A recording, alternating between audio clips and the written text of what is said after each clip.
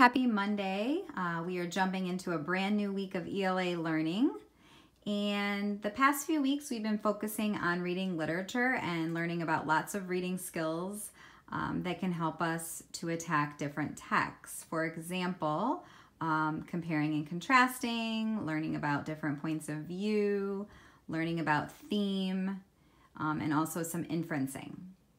And that's been our main focus for the last couple of weeks. So now we have finished our literature standards, we're going to move into some writing standards for the month of June. Since today is June 1st, for this month, our focus will be on learning different modes of writing. We will be touching upon three different ones. We will learn about opinion writing, informational or explanatory writing, and narratives. So this week, our focus is going to be on opinion writing. So I have made an anchor chart for all of you to follow for today's lesson on opinion writing. So some of our learning targets are going to be that we can I can introduce a topic, I can state an opinion, and I can give reasons for my opinions supported by facts and details. So the really important words that should jump out at you in those targets are fact and opinion. All right, so we're gonna need to understand the difference between what is a fact and what is an opinion, especially um, if you're going to be writing a piece on your opinion, you wanna make sure that you're only stating your opinion and able to back it up with facts and details. All right, so a fact is any statement that can be proven to be true. Okay, so it's something that can be proven. So for example, today is June 1st, 2020. That is a fact, right? We can prove that. Or um, let's see, we can also say that the season is spring. Okay, that is a fact we can prove. All right. In comparison, an opinion is a personal belief or judgment. So, how you personally feel about something. Someone else might feel differently. So, that's your opinion. That's how you feel, your personal beliefs. All right. So, for example, an opinion would be that dogs are the best pets. That's an opinion, right? Not everyone might like dogs, or maybe some people are allergic. Or, for example, an opinion might be that online learning is the best way to learn. That's an opinion, right? Some people might not like to go online and use a computer. They might prefer to be in class or in a building learning with other people around them. All right, so I'm going to show you today what we're going to be working on for opinion writing.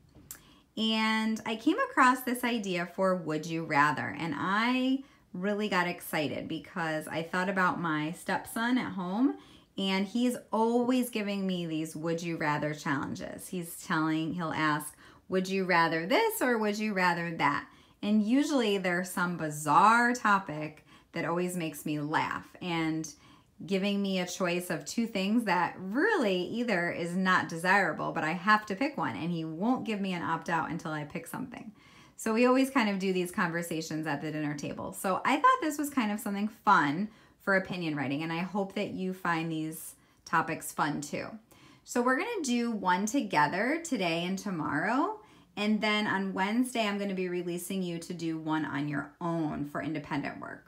So I found some fun topics, so I hope that you enjoy them. And the first one I've chosen today to do is, would you rather wrestle a black bear or an alligator? Two pretty dangerous animals, right? But you have to pick one. And I'm going to show you how to do that. And the way you're going to do that first is by making a T-chart like this. So I have some pros in each column and I have some cons in each column. And I'm going to have you decide kind of which are the pros and which are the cons. So a pro are those pluses, like the things that seem desirable or are a positive towards picking that animal. The cons are sort of those negatives, like things that sort of draw you away from that choice, okay? So statements against picking that. So pros, positive, cons are those negatives. So I've kind of just brainstormed some ideas about the black bear and the alligator, okay? And so these are some facts. Remember the difference between facts and opinions. Facts are those things that can be proven to be true. And then I'm going to base my opinions on those facts. So I'm going to make a choice by kind of ruling out all the pros and all the cons. So kind of laying everything out first in some notes and then making our decision later. So now these are just some facts that I found and your opinion may not agree with mine. That's okay. Everyone is entitled to their own opinion. However, this is just to show you how to start out step one, just taking some notes. So do some research on both of those animals, okay? So the black bear weighs up to 600 pounds. So pretty massive sized animal, right? So that might be kind of like a con, right? Because it's pretty big. I don't know if you're going to be able to wrestle it very successfully, right? In 100 years has killed 60 people. Okay. They're mostly vegetarian, so meaning eating vegetables, not meat. Male bears wrestle each other. They're outlawed in many states. Bears outweigh humans by hundreds of pounds. Okay, so thinking about how much you weigh versus a 600 pound animal, they definitely outweigh us by hundreds of pounds, meaning they're hundreds of pounds more than us. So I'm seeing a lot of cons in there, right? That they have killed 60 people in 100 years. They weigh up to 600 pounds. They wrestle each other, so they're familiar with doing this, pretty good at it. And they're just pretty massive animals, okay? Now on the other side, we have some facts about the alligator, the other animal. Alligators are also very large. They can weigh from 450 to 600 pounds, so very big, just like the bear. Maybe not as big, but still pretty massive animals. In 60 years, they've killed 17 people, so haven't killed quite as many, but still very dangerous, right? So I don't know if that's really a pro, but it's better than a bear, right? Brains are smaller than a tablespoon, so they're not very bright animals.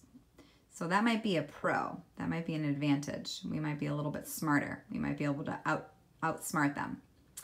They prefer small prey, so that means they like to typically go after things that are smaller than them, not bigger than them. And we're larger, however, we weigh less. So that might be a con. Hmm. They um, more people eat alligators than alligators eat people. So they're kind of a delicacy in some places where people actually eat them. So it's more common for people to hunt and eat alligator than it is for alligators to attack people or humans. So that might be a pro for picking alligator. They do have large, sharp teeth, so that might be a con because their teeth are definitely going to do some destruction. And they're very quick and agile. That means they can move quickly, they can find things quickly, they can move from side to side without any problem. So that might be a con. All right, so these are just some ideas to kind of get us started. Okay, so this is always the first step in writing is some note taking or note catching. And I like to use the T-chart to kind of outline both sides of the argument because an opinion has two sides, right? There's two choices here, a black bear and an alligator. So I want you to think about today some more notes you can add to the T-chart and think about would you choose the black bear or the alligator? And then tomorrow what we're gonna do in our lesson is we're going to begin our organizational um, chart, our graphic organizer, to start putting down some ideas for our reasons, our details, and how we're going to back that up with evidence. And I'm gonna show you a graphic organizer that's really easy to use with opinion writing. And we're gonna go through that together tomorrow in our lesson video.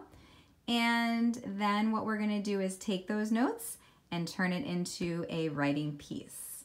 And then at the end of the week, you will have the tools you need to create your own opinion writing piece on a different topic. All right, guys?